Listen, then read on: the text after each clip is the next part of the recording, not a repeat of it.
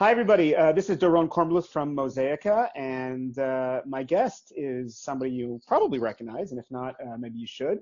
This is Reb Roy Neuberger. Um, we know each other because of this, uh, your new book, Hold On, Surviving the Days Before Mashiach, Roy S. Neuberger, which is uh, unbelievably well timed. God runs the world. Uh, maybe you want to just tell people about that? Well, you know, um, um, uh, this book was finished one year ago, so that means in around um, May uh, of 2019. And I was very anxious to get this book, uh, you know, out. So I said to my holy publishers, Mosaica Press, "Oh, I need it out by uh, Rosh Hashanah, Yom Kippur," and and Mosaica Press told me, no, we're very careful. Everything has to be right and perfect. And and and and so I said, okay, okay.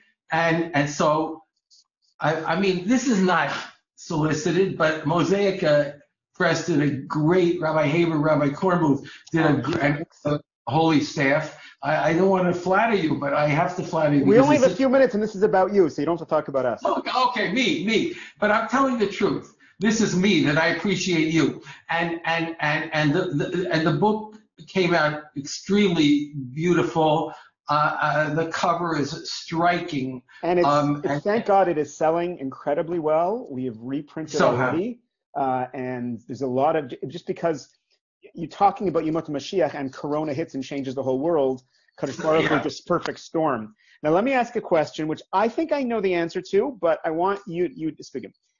Uh, okay, uh, to everybody who's who's who's looking, okay, I want you to count. Okay, these are the Haskamas.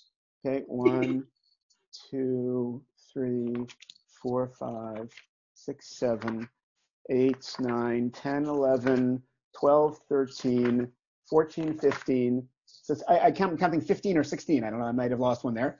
Um, rabbinic right. approbations. Uh, I have never put out a book, and we've never put out a book, and I've never seen a book with so many. But it wasn't just can you tell why you thought that was important? It's, I'm really happy you asked me that question, um, Reb Doron. Look, if you had my background, I, I, if you know my story, which I tell in my first book, From Central Park to Sinai, um, I, I, I, I, I, I'm, I hope I'm a Baal Teshuva. Uh, I, I, I grew up totally uh, non-observant with no connection to Jewish life at all. I mean, I did not know what Rosh Hashanah was, what Yom Kippur was, what Pesach was. Um, um, I, I, and I had a bris at the age of 31. This was after a whole, you know, youth of searching. Um, and then we met Rebbitzin Esther Jungreis. Um, when we were 30, my wife and I were 30 and 31 years old. We'd already been married 11 years at that time. But I have, I mean, the, the Jungreis family was very kind to us and took us in um, to the family. But I feel as if I you have, married into the Jungreis family, didn't you? Isn't one of your? Yes, we did. Our daughter is married to Rebbitzin Jungreis's, uh, Rabbi Rebbitzin Jungreis's uh, second son, Rabbi Ashi.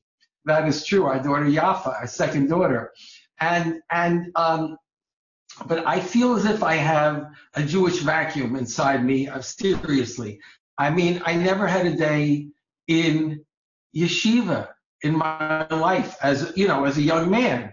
I'm trying to make up for it now. I'm trying to you know I have wonderful chavrusas. I'm trying to fill the gap. But you really, it's so difficult to fill the gap of all those years of your youth when you know other people are in yeshiva. So I feel as if I need haskamas. I need I I need I I need approbation. I need. Well, you, have uh, certainly got them. I mean, this is uh, it's an amazing book, and you have the entire rabbinic world uh, behind you, showing how yeah. important this is for Klal Yisrael. You see, I, I hear what you're saying. It's, it's there, there aren't that many Baalei Teshuva that get yeshiva guys learning from them and reading, you know, their Torah, and you've uh, accomplished that. Um, and I tried oh, to put on the screen here from your website. I don't know if you see it. Uh, it's a screen. I see it. a new thing for me. I'm I, am i am not that technically minded.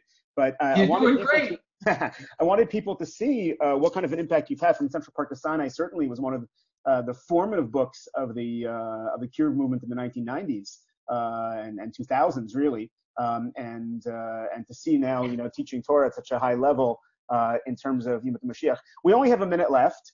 Uh, maybe, God willing, we'll be able to speak again in a, in a month or two. I don't know. Um, but if you had a message to tell the Jewish people um, that we are we are now in this worldwide Corona crisis, uh, and um, we never know what Hashem has in store, and uh, it's a little bit dangerous to say, "Oh, Mashiach is coming tomorrow," and to calculate dates and the running.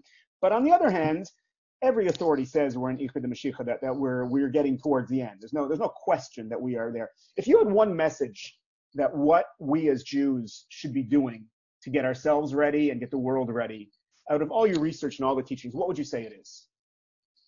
You know, there's a reason we mention Mitzrayim constantly in all our davening, and, and, and the Torah keeps reminding us Yitzias Mitzrayim, Yitzias Mitzrayim. The whole the whole Yom Tov schedule begins with Pesach, which is a commemoration of Yitzias Mitzrayim. In Mitzrayim, um, Rashi says only one fifth of the Jews left with Moshe Rabbeinu. Other commentators say as few as one in five thousand. That means that um, whatever way you look at it, the majority of Jews in Mitzrayim never left with Moshe Rabbeinu, and, and, and that means they, they, they, what can I say? I don't want to be too explicit, but the emes is that they went down with the destruction of Egypt. They disappeared and and Asi Avosim Labanim, you know, the Torah is here to tell us about today. God forbid this should happen today. That that that that we should um, associate ourselves with a non-Jewish world that is crumbling before our eyes, and that we should not be there for for Mashiach. When Mashiach comes, B'ezras Hashem soon, it's going to be a different world, the world of kedusha. The world is not going to be run by the by by Edom and Yishmael, by the by the by excuse me, the Muslim world and the and the Western world anymore. It's going to be ruled from from Yerushalayim, Mitzion Teitze Torah, uh, Dvar Hashem Yerushalayim. And, and, and, and it's going to be a different kind of a world, a world of Torah, a world of Kedusha. That's why the book is called Hold On. If we hold on to Torah and take it super seriously as a, because it's a, it is a matter of life and death, then we should all hope to be there for Mashiach, B'ezras Hashem, Mashiach ben David, Beis HaMikdash, uh, very soon in our own days. Thank you very much for giving us this uh, short amount of your valuable time, Rabbi. I look forward to speaking again. Thank you so much, Rabbi. The book is Hold On, and uh, if you can find a copy, there still are some copies available and it's in reprint. So there'll be more copies soon. Wonderful. Thank you so much. All